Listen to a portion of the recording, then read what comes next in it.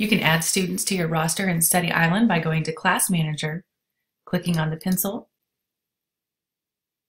then click on the student's grade level, the uh, plus sign next to the grade level, and then find your student in uh, the drop-down. They're in alphabetical order.